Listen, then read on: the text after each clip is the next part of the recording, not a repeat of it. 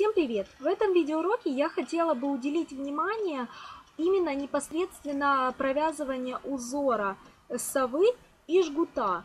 То есть, э, когда я провязывала шапочку, у многих девочек возникли вопросы, как все-таки продолжить этот рисунок и как провязать высоту вот этой шапочки. То есть, как провязать узор сова и жгута. Возникли вопросы. На самом деле, я не знаю почему, все очень здесь просто. Смотрите, я набрала образец именно одного раппорта. То есть, я начну с изнаночных, промежуточных. У меня будет вот промежуточный, изнаночный. И в конце я набрала еще две кромочные. То есть всего я набрала 6 э, петелек, которые провязываются изнаночным. И 4 нашего жгута маленького. Это 10 петелек. И 8 э, петелек нашего э, узора совы вот этой. Итак, смотрите, я начну. Я, получается, смотрите, высоту узор сова, вот этот раппорт, состоит из всего лишь пяти рядов. То есть, смотрите, 5 рядов. Узор жгута маленького составляет 3 ряда. Объясню это как. Смотрите, сейчас я сделала повороты. Эм, получается поворот совы, вот здесь вот поворотик, и провязала изнаночную сторону.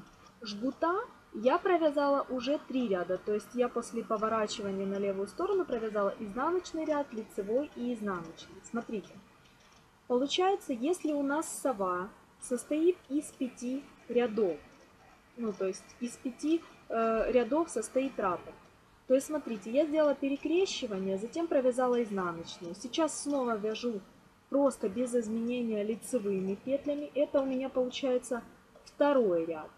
То есть у меня первый был изнаночный, второй ряд. Теперь снова 2 изнаночные, я так и провязываю 2 изнаночные. 1, 2. Теперь смотрите, жгута я провязала уже 3, значит у меня вот этот сейчас ряд будет считаться первым. Вот, поворот сделали. Наша спица перед работой поворот. Итак, смотрите, 2 изнаночные довязали, кромочную я провязываю еще. Вы кромочную не провязываете. Итак, смотрите. Итак, смотрите. Кромочную снимаете.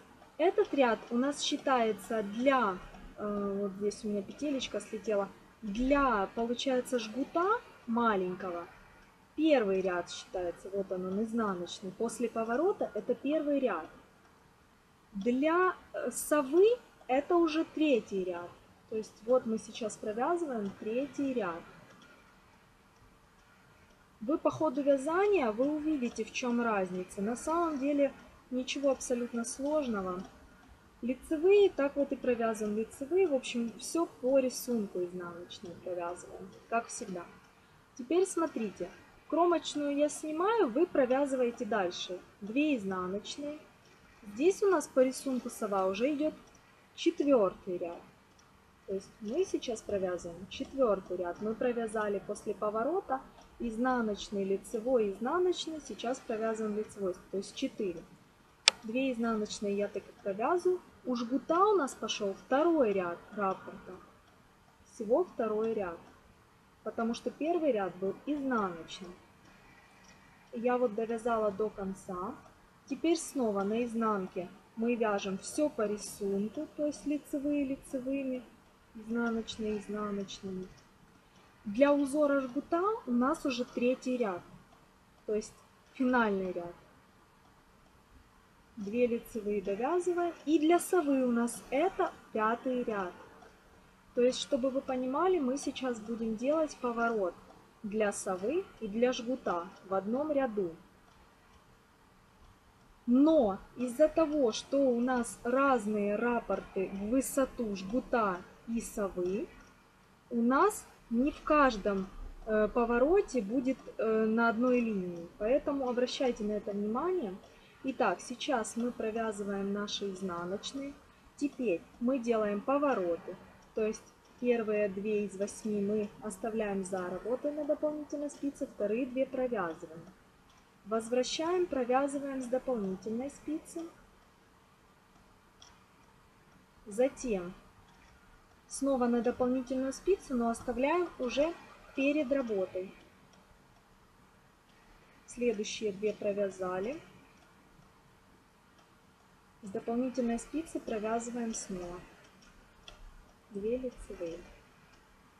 Теперь изнаночные провязываем изнаночными. Жгут мы тоже поворачиваем, так как это у нас идет снова вот этот, получается, так сказать, четвертый ряд, то есть поворот наш. Вот. Мы оставили перед работой, теперь провязываем лицевой. Я с вами провяжу два раппорта, чтобы вам было связная именно у вас, связать можно было, как говорится, видео. Итак, кромочную снимаете все на изнаночной стороне по узору. Всегда у нас изнаночная сторона по узору. Но считайте, что у вас жгут пошел, первый ряд уже провязан. Сова провязан также первый ряд. Вот он, изнаночный. Это первый ряд раппорта. После поворота. Теперь разворачиваем на лицевую сторону. Я кромочные снимаю, изнаночные я не буду проговаривать. Я непосредственно проговариваю за наши узоры. Мы снова провязываем просто без изменения. То есть с совы у нас идет второй ряд раппорта. Идет совы второй ряд. И идет жгута второй ряд раппорта.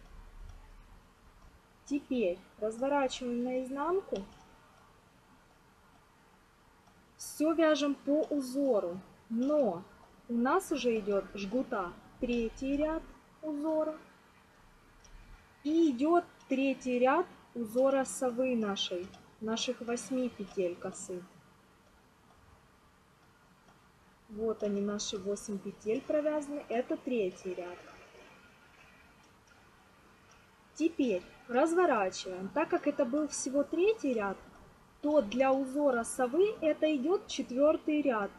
То есть мы его никак не перекрещиваем, ничего, это четвертый ряд. А для жгута четвертый ряд уже является перекрещиванием для маленького жгута. То есть мы перекрещиваем.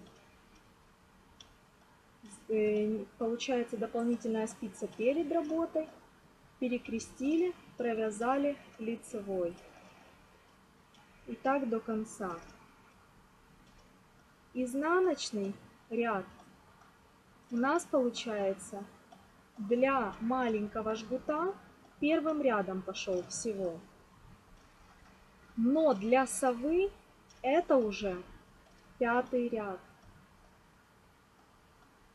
То есть пятый ряд идет у нас для совы последний ряд без изменений перед перекрещиванием. Значит, это идет для совы шестой ряд. Мы в шестом ряду делаем перекрещивание.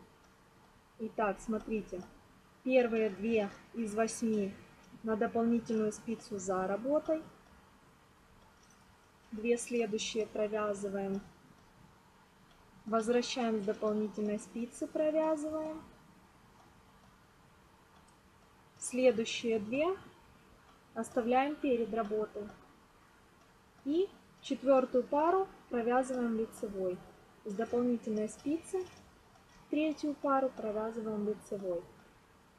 И как вы понимаете уже, то жгуты наши маленькие мы не трогаем, не перекрещиваем, потому что это всего лишь второй ряд для жгута. Мы его только перекрещивали, провязали изнаночную и теперь вяжем лицевую. Теперь снова разворачиваете. Ой, как-то у меня так получилось на разных спицах. Провязала на дополнительную, видимо. Итак, смотрите. Вы провязали, получается, сейчас два раппорта. Давайте я с вами начну третий, чтобы вы не запутались.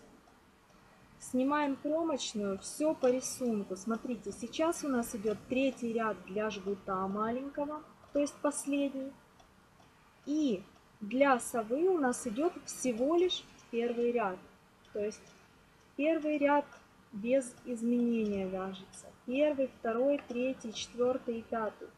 Без изменений. Повернув на лицевой ряд, мы снова кромочную снимаем, 2 изнаночных. Это у нас пошел только всего лишь второй ряд совы, который вяжется без изменений. Второй ряд. 2 изнаночные. А для жгута это пошел уже ряд для перекрещивания. То есть смотрите, здесь в узоре сова раппорт высоту составляет 5 рядов, которые вяжутся без изменения, то есть лицевые лицевыми, изнаночными изнаночными, из одной и с другой стороны. Для жгута 3 ряда, то есть вы вяжете поворот, это у вас считается как бы нулевой такой ряд, скажем, будем считать начальный ряд. И затем после него вы вяжете 3 ряда без изменения, то есть лицевые лицевыми, изнаночными изнаночными. А на четвертом ряду, вот как сейчас, мы, я вот вам покажу, как можно без э, дополнительной спицы. Вы снимаете все петельки, вот, одеваете сначала две первые, а затем две последние. Если вам так будет удобнее, а затем все лицевыми. Если вам так будет удобнее, перекрещивайте так. Это очень просто, но это уже делают как бы более опытные вязальщицы. Для начинающих это как бы ну, считается сложный уровень почему-то. Вот, ну в общем смотрите, совы мы провязали с вами два ряда всего просто, то есть без изменения, то жгут мы уже повернули. Сейчас у нас получается на изнаночной стороне жгут будет первый ряд всего лишь, а сова будет уже третий. То есть и так далее. Вы вяжете, вяжете, здесь у вас 5 рядов провязано, вы делаете перекрещивание. Здесь 3 ряда провязано, 3 ряда перекрещивания.